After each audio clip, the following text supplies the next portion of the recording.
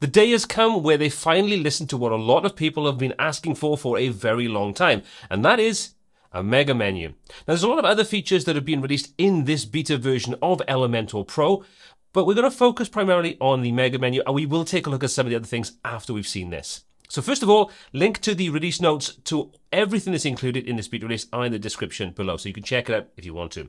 So let me demonstrate a very quick example of how the mega menu actually looks on the front end of the site. So this is a test page that I put together very quickly. And if we take a look, the services section, if we click over that, you can see we now get a drop down mega menu with image over the left hand side. And we've got multiple different menus on the main section on the right hand side. Now this is a very simple design, but you can get incredibly creative using pretty much all the tools you have inside Elementor Pro. So now we've seen what we can create, let's take a quick look at how it all works. Now the first thing you need to do, as with pretty much all experimental features in Elementor, is to go ahead and enable it. To do that, all you need to do is come over to Elementor and Settings. Inside there, hop over to the features, and now you can see all the various different features you need to enable. Some of these will be default enabled, other ones are not enabled. You can go through and set what you want. So you can see if we come down to the menu, I've set mine as active. You do need to make sure you've got the nested elements active as well. This allows you to nest different items inside the menu structure itself. With that being said, that's all you need to do. Now what I've done is I've created a template for the header. So let's come over into the theme builder section. There's my header template. Let's go ahead and edit this. And you can see this looks pretty much the same as any other kind of menu structure that you'd have when you create a header inside Elementor. However, there is one notable difference right now. We have, if we come over to the right hand side, we've got this menu. And inside there, you can see I currently have four items. Now, this is slightly different to the menu that you're used to. You can see we've got the WordPress menu, which is probably what you've been using up until now. However, this new menu function is where we get access to working with these mega menus. So you're going to need to make sure you insert one of these. I've already done that inside here. And when you do, you get this menu structure. And over the left-hand side, we get this layout option that allows us to set the sort of parent navigation elements at the top. So in this example, services about us and so on. Now, when you open any of these up, they look pretty standard. However, there's one important feature if you want to have a mega menu for that section. You need to enable the drop-down content. You can see I've enabled that. And now if I come over to services and click, that will open up my drop down menu so I can start creating and editing the content of it. And if we open this things up on the right hand side, you'll see I've got a container set inside here. And inside the container, I've got a couple of different widgets. We've got a couple of WordPress menus, the standard kind of menus, and we've also got an image. So this is how everything is set up. And then I'm simply using the Flexbox options for the container itself. And you can see I've set the justification, the direction, and we can change these over. You can see I can use the reverse, I can use the standard, whatever I want. And I can set the size, I can set the, the features, the styling for all the different elements. So there's nothing inside here that's particularly complicated. So let's go ahead and see how we can create something very similar in a different menu section. So let's go ahead, let's go to menu two. Let's come over to our layout. Let's go into our About Us and let's go and enable that to be a drop-down content. We select it, it gives us the little drop-down arrow, and now if I click on that, you can see I get the standard kind of drag your widgets here section. So I don't need to use containers, I can use whatever I want, but it does make sense to use the container to be able to style and structure everything in a logical fashion. So now what I can do is I can drag the elements that I want in. So let's come back over. Now you'll notice that this looks a little different inside the editor. We'll come on to that a little later. We're going to go over to the plus to add an element, and inside there, let's go and grab ourselves the container. So you can drag and drop that into our design, and you see that now places the container inside item 2. Now I can expand the container out, which is currently empty, but I can go ahead and start adding extra content. So if I click on the plus, you'll see that'll take us back out to the elements on the left-hand side, and now I can grab whatever I want. So for this example, let's go and grab an image, and let's kind of recreate something similar to the demo. Let's insert our image. We'll drag that into our design. We'll choose an image as we normally would. This will do. We'll click on select. And there now is our first sort of widget inside the container.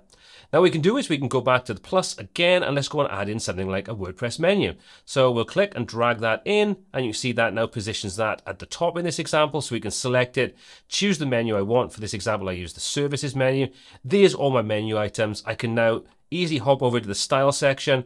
We'll come in and change text color. We can use our global options. So we'll set that to primary. Come to our typography, we'll choose our global options in there, and we'll choose, let's go for something like accent in this example. There we go. And obviously, we don't want this to be stacked side by side. Just go to the layout, and in there, I can say I want this to be vertical, and there we go. We now have our vertical navigation. Now, obviously, things look a little bit rubbish at the moment because we haven't set up how we want things to interact, whether it's a row, a column, all those flex settings. Let's come back to our container.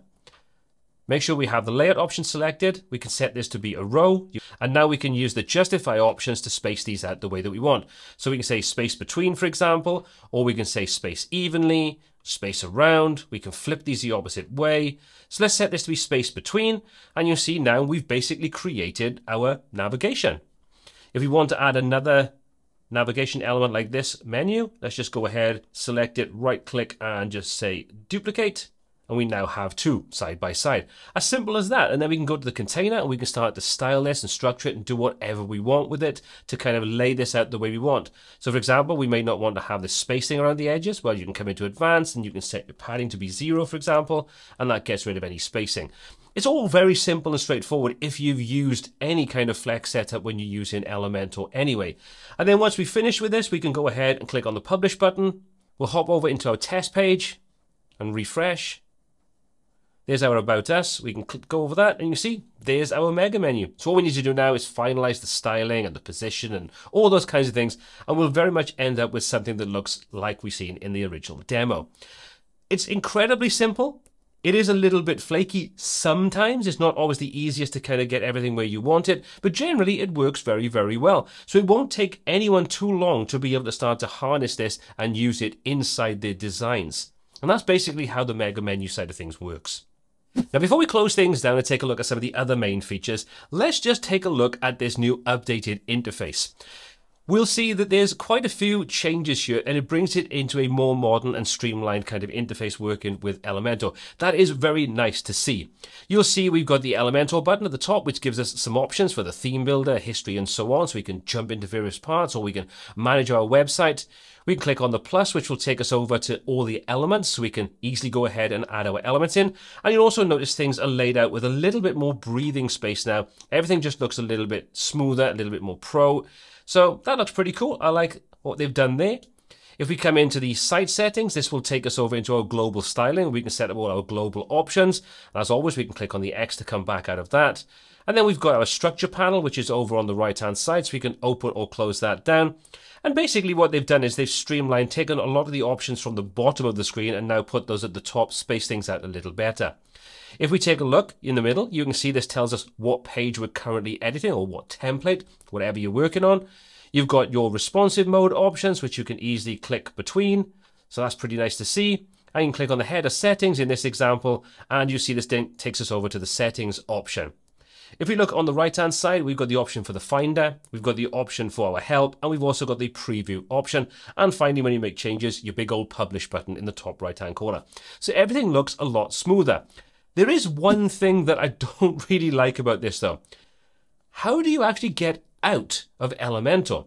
Sure, you can come to the Elementor button and you can say manage website, and that will then open another tab up and take you back. But that kind of seems a little counterintuitive. So I might be missing something here. There might be a setting hidden somewhere, or I might just be being blind. But to me, I just want the button that just says, take me out of Elementor, close it down, simple as that. So if anybody sees that and they know where it is, please do let me know in the comment section because it might just be me missing exactly where to do that. So next up, let's take a look at the changes that have been made to the loop builder. Now, this is still an experimental feature, so use this with caution, but we've seen this in the past. I've put a link to the videos in the description below so you can check that out. But let's just jump over into Elementor itself. Let's go ahead and create a loop item. So we're going to create a template. So we'll add a new template. And you'll notice now that we actually have some starting pre-designed templates that we can use to get the ball rolling. Now, admittedly, they're not particularly interesting. They're not that nicely designed. So there's still a lot of scope there to be making these a lot better. So you might want to work on creating your own loop designs, but let's use one anyway. Let's start off with this first one. We'll click insert to add this and we'll say, yep, please apply it. So there's our design, our first design. Now, obviously, we can still come in and we can change anything inside here. So we can come into our style, for example. We can change this so we can adjust our typography. Let's set this to be something like our secondary. Come into our options. Let's adjust things like the letter spacing. Let's tighten that up a little bit. There we go. So we can make changes to this in any way that we want. Let's go ahead and publish this. So there's our first loop template. Let's go ahead and create a second one. So again, going into the template section, we're going to come to our loop items. We're going to add another one. Let's choose a completely different design this time. Let's grab one of these. Let's see what these look like. So there's our separate different design. Let's go ahead and publish this. And let's hop back into our templates. Let's quickly rename these. So we've got our main loop design and our alternative loop design. We've now finished inside the theme editor. Let's come back over. Let's go ahead and edit the loop page that I've just set up. This is a blank page, but I just set it up and named it. Let's go ahead and add the loop in. So let's just search for loop. And there's our loop grid. We'll drop that into our page. And you see now we can create a template or we can select a template. This is going to be our main template. We'll select that from there. We'll just type in main. There's our main loop design. And you can see now that's pulled in the design elements for us. So everything looks the way you kind of probably got used to by now. However, what we can also do is we can use an alternative template. So we can enable this and you can see we can choose our alt template. So let's click on there. We'll come over and we'll say alt. There's our alternative template design. And now we can say where we want that. So let's just say two and now you can see we now get a different variation inside there in our second of our loop grid. You can apply once, you can set the column span so you can make this bigger if you wanted to. So you can see we can create these alternative designs and you can add more items, you can edit the template inside here. It is very, very easy to work with. Again, if you've come from something like using Crocoblock and Jet Engine and those types of tools, you've been able to do this kind of thing for a while where you can inject different designs into your loop. So it's good to see that this is being brought into Elementor Pro and it is incredibly easy to set up. So you could use this for adverts, for various different things, whatever you kind of wanted. So you can see it is pretty simple and straightforward. And then you've got the same options for things like equal height. You can set things to be masonry, all those kinds of things. And that's basically all there is to it. That's the two different ways we can set up alternative different designs and also we can use the templates that are shipping with Elementor to get started with our loop designs. Now, there's still several smaller tweaks and updates and things like that, but I'll let you take a look at the article that's linked in the description below because I don't really think they need to be included in this video. However, what are your thoughts on what I've shown you today? Is the Mega Menu something you've been waiting for for a long time? What about these alternative designs in the Loop Builder? Or what do you think of this new revamp to the interface of Elementor? Let me have all your thoughts in the comment section down below. As always, my name is Paul C. This is WP Tuts, and until next time, take care. You.